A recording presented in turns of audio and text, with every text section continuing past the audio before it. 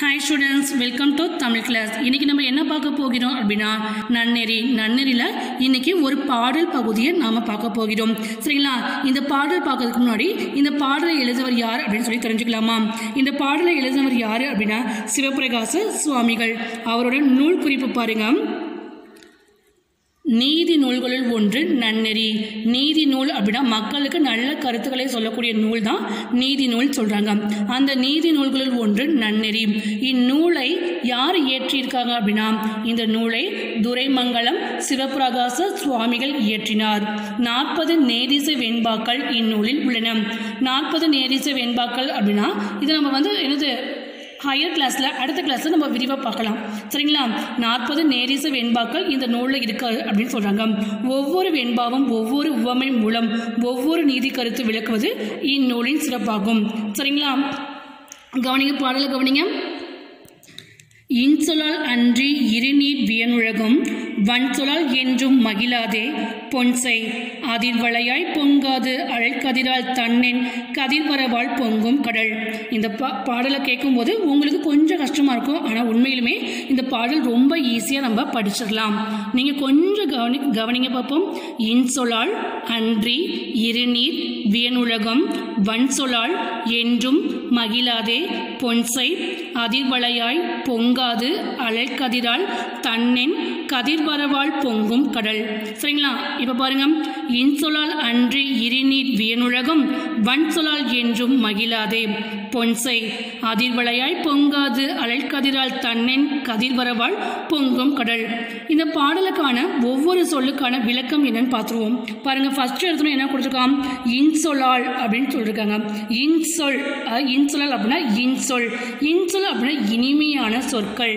அது எப்படி இனிமையான சொற்கள் அப்படின்னா நம்ம அடுத்தவங்கள்ட்ட பேசும்போது இனிமையான சொற்களை மட்டும்தான் பேச வேணும். அது எப்படி இனிமையான சொற்களை பேச வேணும் அப்படின்னா கவனிங்க எப்படி இனிமையான சொற்கள் நம்ம தாத்தா பாட்டியோ அப்பா அம்மாவோ நம்மளுடைய பிரதர்ஸ் சகோதரன் சகோதரி யார் என்ன கேள்வி கேட்டாலும் நம்ம இனிமையான பதிலை சொல்ல வேண்டும். அது எப்படி இனிமையான சொல்? நாங்கள் இதுவரை இனிமையான சொல்ல கேள்விப்பட்டதே இல்லை அப்படின்னு சொல்கிறாங்க அப்படின்னா இப்போ உங்கள்கிட்ட ஒரு திங்ஸ் வேணும்.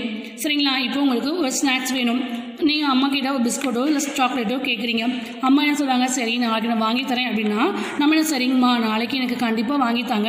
எனக்கு அந்த சாக்லேட் சாப்பிடணும் ஆசையாக இருக்குது அப்படின்னு நம்ம சொல்லணும். இது இன்சொல். எனக்கு இப்போயே வேணும். எனக்கு வேணும் அப்படின்னு சொல்லி நீங்கள் அடம் பிடிக்கிறீங்க பார்த்தீங்களா அதுதான் வன் சொல் கடுமையான சொல் அப்படின்னு சொல்கிறாங்க சரிங்களா? இன்சொலால் அன்றி இருநீர் கவனிங்க ஸ்டூடெண்ட்ஸ் இருநீர் வியன் உலகம் அப்படின்னா கடலால் சூழப்பட்ட இருநீர் வியன் உலகம் அப்படின்னா கடலால் சூழப்பட்ட பரந்த உலகம். இந்த உலகம் எதனால் சூழப்பட்டுள்ளது அப்படின்னா கடல். கவனிங்க கடலால் சூழப்பட்ட பரந்த உலகம் தான் இந்த உலகம் அப்படின்னு சொல்கிறாங்க வன்சொல் அப்படின்னா கடுமையான சொல். நான் முன்னாடி சொன்னேன் இல்லையா அதாவது நம்ம என்ன பண்ணுவோம்? ஒருத்தவங்க கேட்கும்போது ரொம்ப கோவ கோவப்பட்டு சொல்லுவோம் பார்த்தீங்களா அதெல்லாம் முடியாது எனக்கு இப்போயே வேணும். நான் அதை செய்ய மாட்டேன் இதை சாப்பிட மாட்டேன் அப்படின்னு சொல்லி ரொம்ப கோபமாக பேசுவோம் இல்லையா? அதுதான் கடுமையான சொல் அப்படின்னு சொல்கிறாங்க அதிர்வலை அப்படின்னா ஒழிக்கின்ற வளையல்கள். அதாவது பாருங்கள் கவனிங்க. அதிர்வலையாய் அப்படின்னா அதிர்வளையாய் அப்படின்னா ஒழிக்கின்ற வளையல்கள். சரிங்களா? அடுத்தது பாருங்க அழல் கதிர். எங்க இருக்குது? அழல் கதிர். அழல் கதிர் அப்படின்னா கதிரவனின் வெப்ப கதிர்கள். கதிரவன் அப்படின்னா யாரு? சூரியன். சூரியன் நமக்கு என்ன கொடுக்குது? வெப்பத்தை கொடுக்குது. வெப்பம்னா என்ன? இப்போ நீங்கள் வெயிலில் போய் நில்லு சாரி வெயிலில் போய் நில்லு வெளியில் போய் வெயிலில் நில்லு பாருங்களேன். அப்போ உங்களுக்கு சூடு பார்த்தீங்கன்னா அது சூடு தாங்க வெப்பம். கதிரவன் அப்படின்னா சூரியன். சூரியன் நமக்கு வெப்பத்தை சூடை கொடுக்குது இல்லையா? அடுத்து பாருங்க தன்னென் கதிர் அப்படின்னா குளிர்ச்சி பொருந்திய நிலவின் ஒளி. நிலா இப்போ சாயந்தரம் ஆறு மணிக்கு போய் நீங்கள் வெளியில் நின்று பார்த்தீங்க அப்படின்னா உங்களுக்கு எப்படி இருக்கும்? அப்படி ஜில்லுன்னு அப்படி அழகாக இருக்கும் பார்க்குறதுக்கு ஏன் அப்படின்னா நிலா வந்து என்ன பண்ணுது? குளிர்ச்சியை வந்து கொஞ்சம் கொஞ்சமாக கொடுக்குது. தண்ணின் கதிர் அப்படின்னா குளிர்ச்சி பொருந்திய நிலாவோட ஒளி. சரிங்களா? இப்போ பாடலோட பார்த்துடலாமா இன்சொலால் அன்றி இருநீர் வியனுலகம் வன்சொலால் என்றும் மகிழாதே. பொன்சை அதிர்வலையாய் பொங்காது. அழைக்கதிரால் தன்னின் கதிர்வரவால் பொங்கும் கடல். பாடலின் பொருள் கவனியம் பொன்னால் ஆன ஒழிக்கும் வளையல்களை அணிந்த பெண்ணே. ஃபார் எக்ஸாம்பிள் இந்த பெண்ணை பாருங்க. கையில் என்ன போட்டிருக்காங்க? வளையல் போட்டிருக்காங்களா? பொன் அப்படின்னா என்னது? கோல்டன் கலர் அப்போ இவங்க என்ன கலர் வளையல் போட்டிருக்காங்க? பொன்னாலான ஒலிக்கும் வளையல்களை அழிந்த பெண்ணே.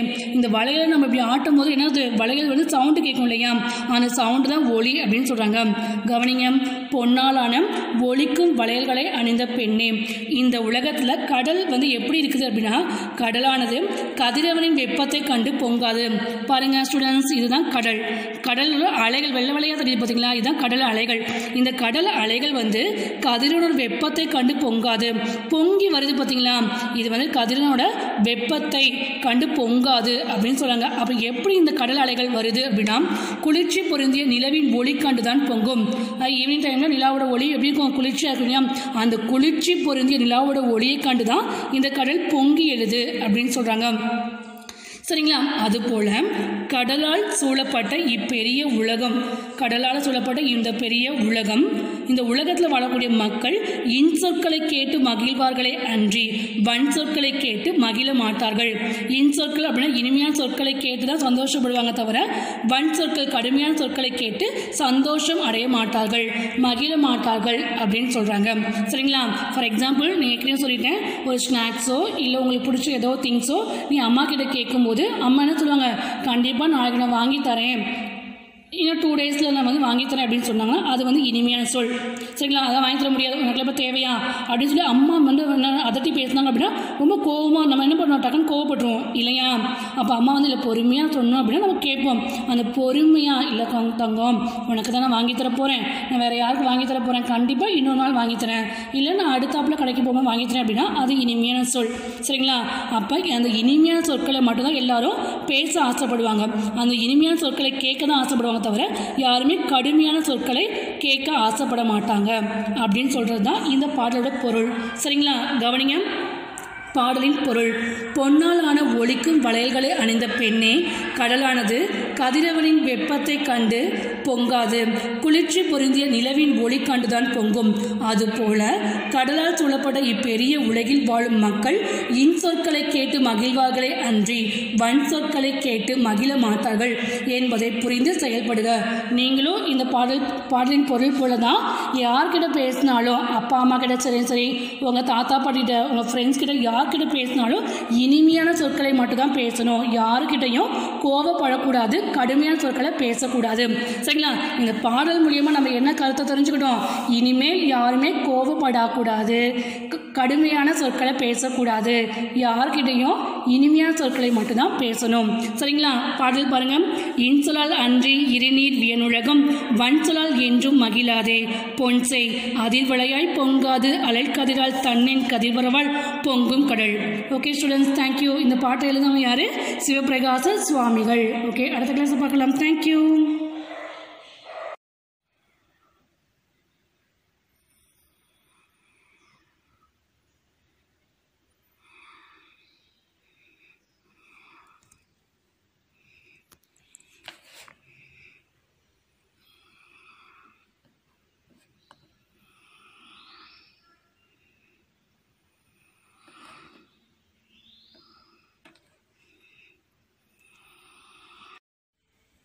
hi students welcome to Tamil class இன்றைக்கி நம்ம என்ன பார்க்க போகிறோம் அப்படின்னா நன்னெறி. நன்னெறியில் ஒரு பாடல் பார்க்க போகிறோம். சரிங்களா? நன்னெறி அப்படின்னா நன்மை ப்ளஸ் நெறி. அதாவது நல்ல கருத்துக்களை கூறுகின்ற ஒரு நூல் தான் நன்னெறி அப்படின்னு சொல்லுவோம். சரிங்களா? அடுத்து பாருங்க. இதோட நூல் குறிப்பு. அதாவது நீதி நூல்களில் ஒன்று நன்னெறி. நீதி நூல் அப்படின்னா மக்களுக்கு நல்ல கருத்துக்களை கூற கூறக்கூடிய ஒரு நூல்